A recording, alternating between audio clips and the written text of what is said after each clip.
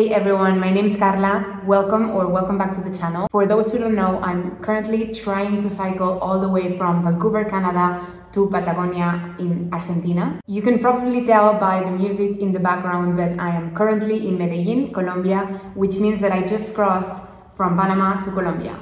You're probably familiar with it, but for those who don't know, this is not your typical border crossing. It's the infamous Darien Gap one of the most dangerous places on earth. This video is going to be a bit different from my usual content, mainly because this is a very complex and sensitive topic, and I want to make sure I cover it in the best way possible. The last thing I want to do with it is to treat it lightly. It may also be a bit of a longer video, mainly because I want to do my best uh, to provide you with some background about this part of the world. So if you feel like you want to skip ahead to my crossing, I will make sure to separate it in chapters so you can use the progress bar down below. Okay, before we dive into the topic, I just want to take a minute to acknowledge how lucky and privileged I am for choosing to take this journey. Traveling has made me increasingly aware of the privilege I have for having the passport I have. I am choosing to be here. I am choosing to cycle. I am choosing to cross this part of the world um, if I ever get tired, if I don't want to do this anymore, I can just fly home. This is not the case for the thousands of people who have to cross this border in search for a better life. This is something I've been reflecting on lately, something I see every day throughout my travels, um, but something that becomes even more poignant in this part of the world. My intention with this video is not to downplay the horrific stories of those migrants who cross the Darien Gap, their experiences are filled with dangers, challenges, and hardships. Instead, my goal is to shine a light on the history, the background, and the dire circumstances surrounding this remote stretch of land. Of course, I'm not an expert on this topic, and it's a very, very complex issue, so I won't be able to cover everything. I've done a lot of research, but if I do get something wrong, please feel free to correct me in the comments. I will link the resources I used for this video down below if anyone is interested. And I really do recommend listening to some of the podcasts or reading some of the articles I will be linking because it's a very, very interesting topic. Let's begin by understanding the bigger picture.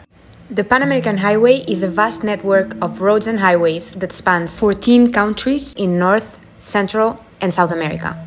It stretches for over 48,000 kilometers or 30,000 miles. From Prudhoe Bay, Alaska, in the United States, to Ushuaia, Argentina, at the southern tip of South America, making it the longest road network in the world. The highway passes through various capital cities, serving as a vital transportation artery for both economic and cultural exchange.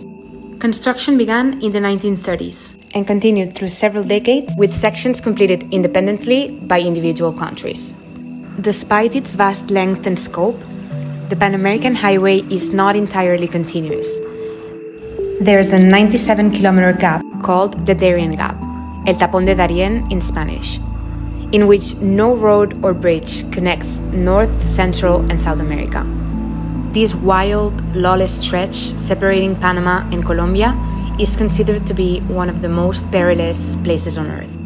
But the Darien Gap is more than just a geographical obstacle.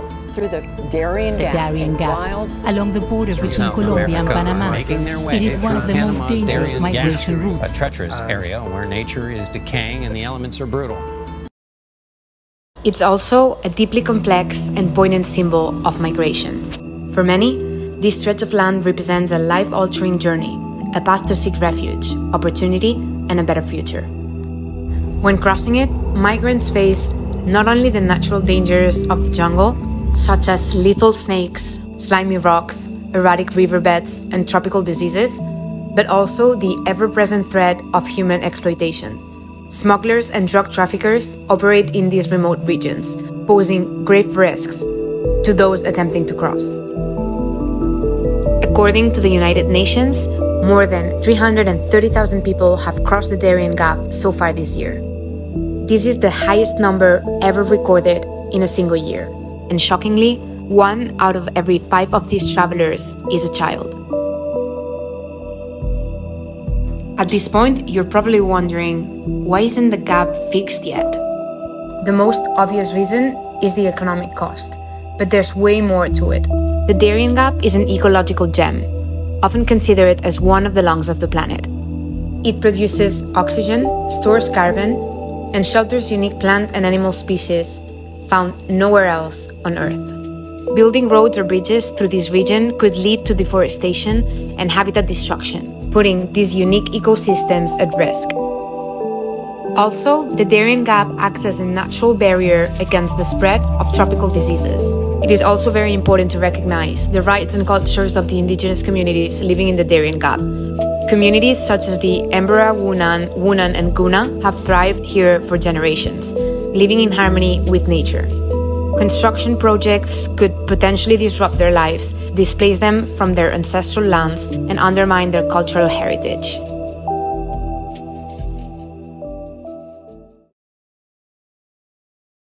Okay, so I hope I've provided you with a good understanding of the background and complexities that surround this part of the world. Now, let me share with you how I personally tackled the challenge of crossing it.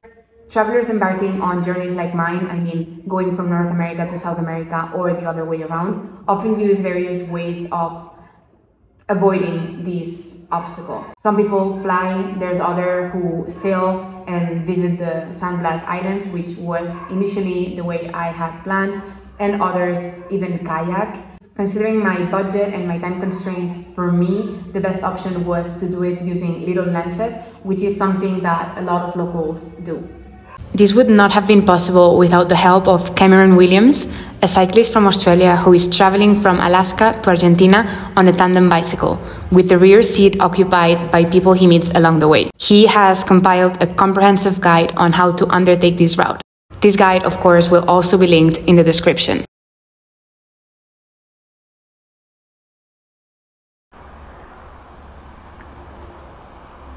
After visiting Panama City, I slowly made my way up to Puerto Carti. This is where the journey starts, and the first step was finding a lancha to take me to Puerto Obaldía. I had heard this could take from a few hours up to even five days.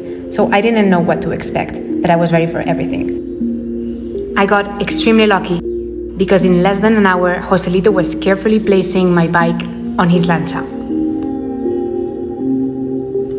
Even though his boat was extremely fast, this journey can take up to 9 hours. I think our journey, rain and all, took about 8 hours. At some point, we got stuck in the coral reef and along the way, we stopped in several islands to get some goods or new passengers.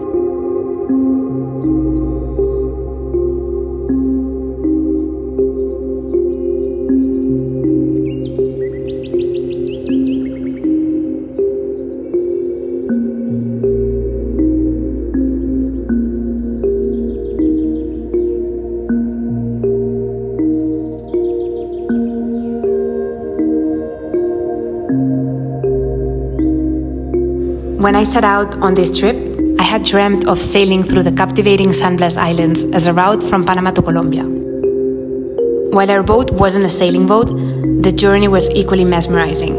The tiny islands we passed were like something out of a fairy tale. And the most beautiful part was getting to visit the villages and meet the local people who live there.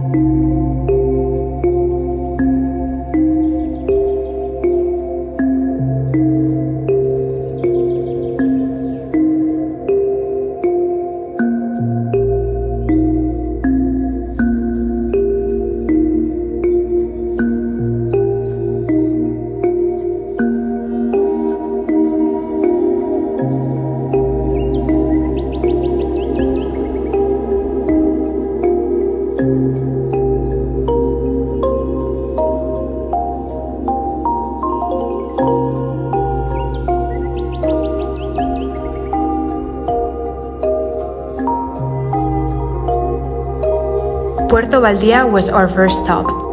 Here is where we got our exit stamps from Panama. We changed boats and we were off to Colombia.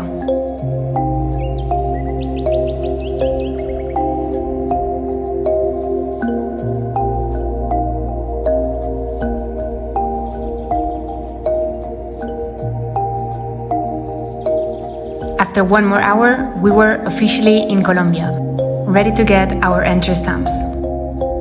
No road reaches this area, so I still had one ferry left. But I decided to stay for one night in Capurganá. There I met Nelson and Mateo. And I spent the rest of the afternoon playing with them, jumping off the pier, and snorkeling.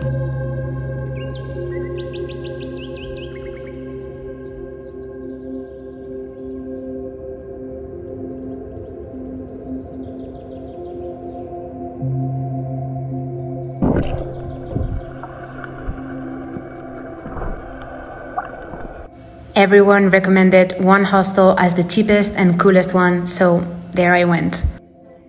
Ready to finish my journey the next day.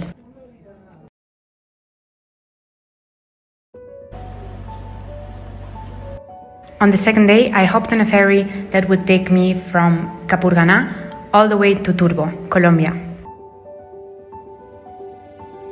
Crossing the Darien Gap by boat left me with mixed emotions.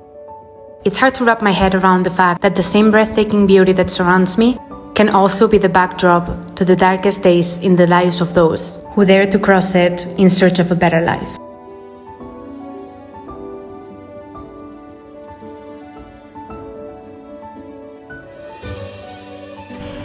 And that's it. That was my crossing from Panama to Colombia. I hope you liked the video, you found it informational or even useful if you're planning on doing the same crossing. As always, thank you for watching, thank you for coming with me, and I'll see you very soon.